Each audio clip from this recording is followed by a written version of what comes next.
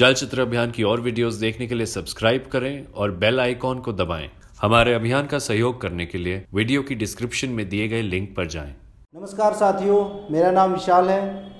चलचित्र अभियान में आपका स्वागत है। 9 सितंबर 2019 को उत्तर प्रदेश की भाजपा सरकार ने एस सी छात्रों को निजी संस्थानों में उच्च शिक्षा प्राप्त करने के लिए जो स्कॉलरशिप मिलती थी, उसके नियम बदल दिए हैं। अब एस सी छात्रों को यह स्कॉलरशिप केवल 60 परसेंट अंक लाने पर मिलेगी। इससे पहले यह स्कॉलरशिप अंकों पर निर्भर नहीं थी। आइए जानते हैं, सरकार के इस फैसले का क्या प्रभाव पड़ेगा। हमारे साथ अश्वनी सिंह हैं, जो एक सामाजिक कार्यकर्ता है, और मेरठ से सुशील, डॉक्टर सुशील गौतम है, जो एक ब्लू पैंथर सामाजिक संगठन से हैं, और हमारे साथ राहुल शेरवाल जी है, जो खुद एक सामाजिक कार्यकर्ता है। डॉक्टर साहब, मैं आपसे ये पूछना चाहता हूँ कि ये असल में ये आदेश क्या है? सरकार का जो ये आदेश आया है। इस पूरे मामले पर अगर जो प्रकाश डाला जाए यूपी गवर्नमेंट ने ये आदेश एक एक तरफ़ तो आप ये समझिए 10 परसेंट का रिजर्वेशन अभी अभी लागू कराया गया ईडब्ल्यूएस के नाम पर आर्थिक पिछड़ा सर्वणों को दिखाकर 10 परसेंट, उनको तो नौकरी मिलेगी, लेकिन दलितों को आर्थिक आधार पर जो सिर्फ़ पढ़ने का अधिकार उन्हें मिलता था, आर्थिक आधार पर स्कॉलरशिप मिलता था, शुल्क फ़ीस मिलती थी उनको, आर्थिक आधार पर जिसमें कि इनकम सर्टिफिकेट लगता था।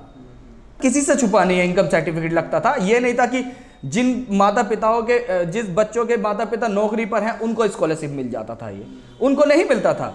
आप इनकम सर्टिफिकेट साठ हज़ार का सर्टिफिकेट जो बनवा के लाता था, साठ हज़ार का इनकम सर्टिफिकेट जो कम, उससे कम का, उसको ये शुल्क सुविधा मिलती थी। और वो गरीब बच्चों के लिए पॉलिसी थी। ये सामाजिक न्याय और मंत्रालय की योजना है ये। उसके आधार पर ये मिलती थी। लेकिन इस सरकार ने वो आर्थिक मानदंड भी घटा दिया है, जिसके कि दलितों की 80 परसेंट से भी ज़्यादा जनसंख्या गरीबी में पल रही है।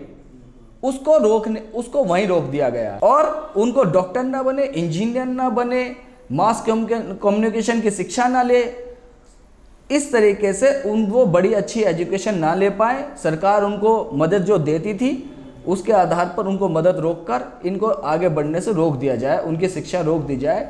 आप 60 परसेंट नहीं लाओगे, शुल्क नहीं मिलेगा और 60 परसेंट और जो आप प्राइवेट शिक्षा लेने अब जाओगे, जो पहले दस हज़ार बच्चा खर्च करता था, दस हज़ार की शिक्षा कर लेता था, अब वो कई लाखों में पड़ेगी। इसलिए वो खुद ही शिक्षा नहीं ले पाएगा। ये सीधा सीधा है कि दलितों को शिक्षा से दूर रखने का एक फरमान है। डॉक्टर साहब, आपको बताएँ कि 2017 में मेरा सी सी एस यूनिवर्सिटी से ही जो कॉलेज मान्यता प्राप्त है यहाँ का, ये मुजफ्फरनगर में दीनदयाल कॉलेज मेरा लॉ में एडमिशन हो गया और प्रथम वर्ष की मेरी छात्रवृत्ति नहीं आई। और उस छात्रवृत्ति ना आने के कारण कॉलेज ने बोल दिया कि तुम्हारा द्वितीय वर्ष में हम दाखिला जो है पंजीकरण तब करेंगे, तब तुम्हारे पहले साल की जो फ़ीस है वो जमा हो जाए।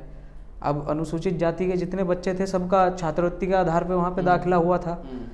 पर कॉलेज को चाहिए फ़ीस हम्म। पर उस समय परिस्थितियाँ ऐसी बनी क्योंकि एक तो धन का अभाव और ऊपर से मैंने भी किसी न किसी तरीके से मेहनत मजदूरी करके जो अपने पास पैसा इकट्ठा किया हुआ था तब जाके मैंने दाखिला लिया था थोड़ा बहुत जो आ, कम फ़ीस दे के तो उस समय परिस्थितियाँ ऐसी बन गई मेरे सामने कि मेरा छः महीने की पढ़ाई खराब हो गई सरकार की दलित विरोधी नीतियों के कारण समय से स्कॉलरशिप न देने के कारण हम्म। और वही कदम बढ़ते हुए आज यहाँ तक आ गए कि 60 परसेंट साठ परसेंट नंबर अनिवार्य कर दिए गए हम्म। अब सरकार तो ये चाहती थी कि पहले भी ये लोग फाइट कर लेते थे वहाँ पे स्कॉलरशिप लेट देने से हम्म। पर आज ये चाह रही है कि सरकार कुछ ऐसी बाउंडेशन लगाओ ताकि ये जो प्रोफेशनल कोर्स हैं बड़ी बड़ी जो पढ़ाइयाँ कर रहे हैं यहाँ तक ना पहुँच पाए। तो अब बताओ इसमें सरकार तो किए जा रही है बस पर जो जागरूकता का सवाल है वहाँ पर। हम जिस तबके से निकल कर आए हैं एक तो अनुसूचित जाति से हैं ऊपर से आ, हमारी फैमिली जो है मजदूर रही है। अब हमने जो पढ़ाई पढ़ाई की है हमने जो ग्रेजुएशन तक जो शिक्षा ली है वो केवल और केवल वो स्कॉलरशिप और वजीफे के बेस पर मिली है क्योंकि हमारी फ़ीस सरकार ने दी है तो ही हम आगे पढ़ पाए हैं। नहीं तो अपनी आर्थिक स्थिति को देखते हुए हम, हम वो फ़ीस कभी अफोर्ड ही नहीं कर पाते। और अभी जो सरकार ने कर दिया है कि अंक के आधार पर जो शिक्षा कर दी है कि 60 परसेंट नंबर जिसके आएँगे उसी को सरकार आगे स्कॉलरशिप देगी या वजीफा देगी। तो ये बहुत बहुत बड़ी समस्या दलित समाज के सामने खड़ी हो रही है। और ये भी व्यवस्था इस देश की है कि यहाँ पर ऐसा नहीं है, जातिवाद खत्म हो गया है। जो मास्टर वहाँ पढ़ाता है, वो मास्टर भी ये जानता है कि सामने बच्चा दलित है। वो प्रैक्टिकल में नंबर कम रखता है, हाई स्कूल के प्रैक्टिकल में नंबर कम रखता है, इंटर के में कम रखता है है ना? और वो कभी भी 60 परसेंट उसके नंबर नहीं होने देगा और ना ही होने दिए जाते हैं। बहुत से तमाम उदाहरण भी हैं। मैं सीसीएस यूनिवर्सिटी का खुद जानता हूँ कैंपस का। 55 परसेंट एजिबिलिटी चाहिए नेट के परीक्षा के लिए। लेकिन वहाँ पर जो वीसी बैठा है, वो पहले उसी इंस्टीट्यूट का प्रोफेसर होता था, उसी विभाग में, एक किसी विभाग में। उसके पीरियड में जब वो विभाग अध्यक्ष था तो उसने कभी भी किसी दलित छात्र के पचपन परसेंट नंबर नहीं होने दिए। लेकिन जब वो यहाँ से चला गया, उसके बाद सभी छात्रों के पचपन परसेंट अंक हुए, अपनी काबिलियत के बल पे हुए और उन्होंने नेट क्वालिफाई करा। जहाँ कुछ मतलब जाति विरोधी टीचर जो थे, वो कुछ बंधे हुए थे। पर लेकिन अब वो सोच रहे हैं कि हाँ ठीक है, दलितों की नब्ज पकड़ में आ गई। कैसे इनको शिक्षा से रोकना है, आगे बढ़ते हुए रोकना है। और उसके लिए सरकार तो कार्य कर ही रही है, ऐसे टीचरों को संरक्षण भी मिलेगा। मैं अभी मेरे, मैं बी में अभी पढ़ाई कर रहा हूँ मेरे बी का फ़र्स्ट ईयर है। तो मेरा प्रैक्टिकल था तो जब मैं गया पढ़ाने बी में एक प्रैक्टिकल में पढ़ाना होता है, तब मैं गया, मैं, मेरा टॉपिक था संविधान। तो मैं संविधान को लेके ही जैसे मैंने बात शुरू की हम्म। बच्चों से तो पीछे जो एग्जामिनर बैठे थे अब मुझे ये नहीं पता वो कौन थे क्या थे लेकिन उनकी मानसिकता से मुझे एक बार लगा कि जैसे ही मैंने संविधान और उसके रचिता के बारे में बात की तो उन्होंने कहा कि जाइए आपका हो गया मैंने पूछा सर पढ़ाने तो दीजिए हम्म। लेकिन इसी के चलते मुझे वहाँ से निकाल दिया कि आप जाइए अगले नेक्स्ट को भेजिए। हम्म। तो ये इस तरह के उदाहरण आपको हाँ, कई हर जगह मिलेंगे। इस तरीके से मतलब अगर हम देखें तो गाँव क्या शहर क्या हर जगह से अपने जो छात्र होते हैं अपने समाज से जो निकल के जाते हैं वो सुबह के समय जब स्कूल पहुँचते हैं तो तब भी किसी ना किसी की मजदूरी करके या किसी अपने काम धंधे से या तो अपना भट्टे का कार्य ईख का काम करके या कोई भी मेहनत का काम करके जिससे सुबह सुबह में थोड़ा सा पैसा मिल जाए और तब जाके अपना स्कूल पहुँचते हैं। हम्म। और वहाँ पर भी गाँव के बच्चे जो होते हैं, उनके पास तो ऐसे बाइक या कुछ इस प्रकार का साधन भी नहीं होता। भाग दौड़ के कोई ट्रेन पकड़ रहा है, कोई बस पकड़ रहा है, बहुत सारे बच्चे ऐसे हैं जिनको चोट फेट ऐसी भी लगी हुई है, जिससे वो अपने शरीर के अंगी गवा बैठे तो इस तरीके से जो संघर्ष हमारे छात्रों का चलता है, छात्राओं का चलता है पढ़ाई को लेके तो बहुत ही बहुत ही गंभीर है। और इसी गंभीर परिस्थितियों में उस संघर्ष को उतना और गंभीर उतना भयानक सरकार बनाना चाह रही है कि शिक्षा से बिल्कुल वंचित कर। दे अब मुझे तो ये लगता है कि जो शिक्षा के दम पर दलित समाज थोड़ा बहुत निर्भर हुआ था अपने पैरों पर खड़े हुए थे और नौकरी में जा रहे थे दलित समाज वो उनसे देखा नहीं जा रहा। ये उनको आर्थिक रूप से कमज़ोर करने की एक साजिश है जिससे उनकी सामाजिक जो स्थिति है वो पहले जैसी हो जाए। वो सामाजिक और आर्थिक स्थिति दोनों को ये कमज़ोर कर रहे हैं इस फैसले और जो सरकारी संस्थान है उनका भी आप देख सकते हैं किस तरह से भट्टा बैठा हुआ है। वहाँ पे टीचर्स पढ़ाने को नहीं है वहाँ पे बच्चों के पास फैसिलिटी नहीं है। वहाँ पे वो मतलब शिक्षा का स्तर इतना गिरा हुआ। क्योंकि वहाँ पर क्यों है? अरे जो शिक्षक भी हैं वहाँ एक व्यवस्था है वहाँ शिक्षक भी हैं तो वहाँ पर पढ़ने वाले सरकारी संस्थानों में दलितों के बच्चे हैं, गरीबों के बच्चे हैं। उनको दलित, उन गरीब बच्चों को रोकने के लिए अच्छी शिक्षा ना पा सकें, इसलिए उन्हें पढ़ाने भी नहीं टीचर जाते हैं। ये भी इसमें बड़ा मुद्दा है। और शिक्षा के लिए पहले तो मतलब मैं प्राइवेट कॉलेज के पक्ष में तो हूँ नहीं पर लेकिन जो सरकारी संस्थानें हैं शिक्षा के लिए, प्राप्त करने के लिए, चाहे कोई भी कोर्स करना हो बच्चे को तो जिलों में पर्याप्त नहीं है। दूसरे, तीसरे ज़िले का सफ़र तय करके तब जाके बच्चों को पढ़ने के लिए जाना होता है। तो मजबूरन जो गरीब परिवार का बच्चा है, जो दिन में अपना काम भी करता है, जिससे उसके घर का गुजारा चल रहा है, अपना भी गुजारा चल रहा है तो इस कारण वो बच्चा किसी सरकारी प्राइवेट कॉलेज में अपना दाखिला ले लेता था पढ़ने के लिए। और उसमें अपना कार्य भी कर लेता था। लेकिन पर आज प्राइवेट कॉलेजों के सामने भी परिस्थितियाँ हैं कि भाई आपकी फ़ीस गवर्नमेंट नहीं देगी अब हम्म। और आपके जो परसेंटेज है वो इतने भी नहीं है। तो बच्चे के सामने कुल मिला के ऐसी परिस्थितियाँ कर दी कि सरकारी कॉलेज तक जा ना पाए और प्राइवेट उनको लेना पाए।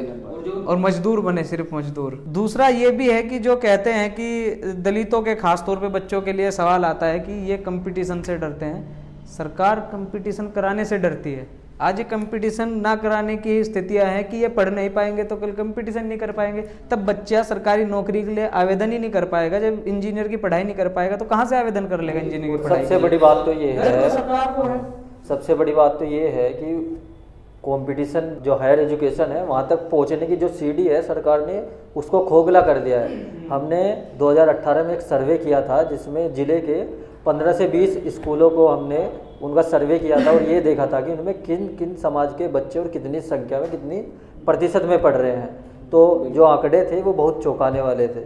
60 से 70 प्रतिशत बच्चे एस सी के थे और थोड़ी संख्या थी ओबीसी की। ना के बराबर उसमें स्वर्ण बच्चे थे। हमने ये कक्षा एक से कक्षा आठ तक के स्कूलों में और कक्षा आठ से बारहवीं तक के स्कूलों में देखा। कक्षा एक से आठ तक के जो सरकारी विद्यालय प्राथमिक विद्यालय उनमें हमारे बच्चे सत्तर सत्तर प्रतिशत लगभग थे। अब उनमें सिर्फ़ इनको खाना खिलाया जाता है पढ़ाई नहीं की जाती। वो ये हो रहा है और वो बच्चे कैसे आप कंपटीशन में बिठा सकते हो और कैसे वो साठ प्रतिशत ला सकते हैं? उनके घर की आर्थिक स्थिति इतनी ख़राब होती है माँ बाप मजदूरी करके भूखे रह के उनको पढ़ाते हैं बच्चों को। और उस स्थिति में जो ये सरकार का फैसला है, वो आप देख सकते हो कि कितना घातक साबित होने वाला है। ये बच्चे की आर्थिक और आर्थिक स्थिति को कमज़ोर करने और उनके भविष्य से खेलने की बात सरकार ने वही है कि भूखा अगर खाना मांगेगा तो गोली मारो। अगर कोई चाहेगा कि मैं पढ़ना चाहूँ, मुझको किताबें दो तो गोली मारो। स्थिति तो वही बनने वाली है। और इशारा इशारा सरकार नहीं सरकार के ऊपर कुछ लोग बैठे हों वो इशारा करेंगे और चल रहा है आज भी। जो है प्रत्यक्ष है पर लेकिन आने वाले समय में प्रत्यक्ष रूप से बिल्कुल नज़र आएगा कि जब शायद सरकार में भी वही लोग ना बैठे हो। इस तरीके से बढ़ता है जो नहीं वो व्यवस्था कर दी है। आपने देखा नहीं? जो ज्वाइंट सेक्रेटरी के पद थे है ना? आईएएस चुन के जाते थे उसमें। वो साढ़े तीन सौ पद क्या इन्होंने प्राइवेट सेक्टर को दे दिए हैं। ठीक है? और और दूसरी तरफ़ प्राइवेट सेक्टर को एक लाख सत्तर हज़ार करोड़ रुपए दिए हैं। देखिए छः सोलह जो पॉलिटेक्निक स्कूल कॉलेज जो है ये प्राइवेट संस्था को देने की बात कल योगी सरकार ने करी है।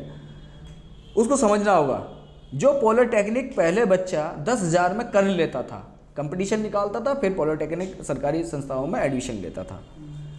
वो जो दस हज़ार में कर दिया कर लेता था अब क्या करा है? इन सर, ऐसे नहीं बेचे जा रहे हैं। इनसे इन सर, इन सरकारी संस्थाओं को बेचने के लिए योगी सरकार मोदी सरकार पैसा वसूल रही है।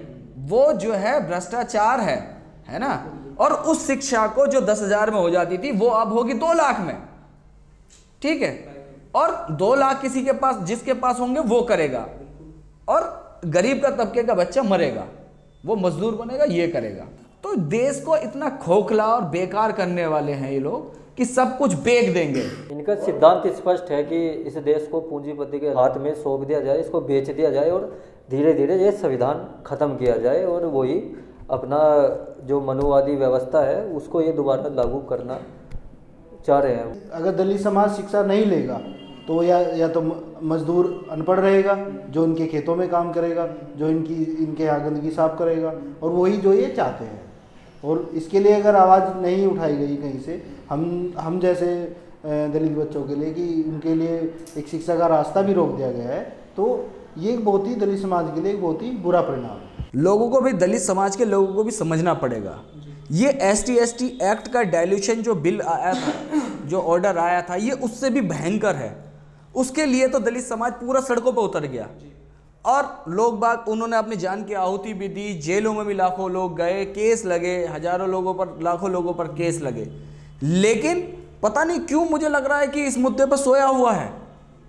जैसे अब शिक्षा के मुद्दे पर दलितों को बोलना चाहिए था। जैसे एस सी एक्ट के समर्थन में आए कि भाई, पहले वाला बहाल किया जाए, जो नियम था अगर इसी तरीके से शिक्षा को लेके भी बाहर आते तो लगता कि हाँ दलित लोग जाति की लड़ाई से बाहर निकलना चाहते हैं। मुझे तो सीधा सीधा ऐसा लगता है कि सिर्फ़ दलित लोग जाति की लड़ाई में खुश हैं और जाति की लड़ाई लड़ना चाहते हैं। मजदूरों के कानूनों में परिवर्तन हो शिक्षा नीति में परिवर्तन हो कुछ नहीं। वो शिक्षा से वंचित है। इसीलिए जाति के मुद्दों तक सीमित है। जी। जिस दिन उनके पास शिक्षा हो जाएगी वो अपने ज़मीन के मुद्दों को अपने आर्थिक मुद्दों को और वो हर एक मुद्दा उठाएगा जो उनको आगे बढ़ने के लिए ज़रूरी है। सभी साथियों का धन्यवाद इस डिबेट में बैठने के लिए। चलती चलचित्र अभियान हमेशा ऐसे मुद्दों पर बात करता रहेगा जो बहुत बढ़िया। जो जो सरकार ऐसी नीतियाँ दलित विरोधी नीतियाँ लाती है या गरीबी विरोधी नीतियाँ लाती है हम हमेशा ऐसे मुद्दों पर बात करते रहेंगे। और आप सभी साथियों का बार बार धन्यवाद।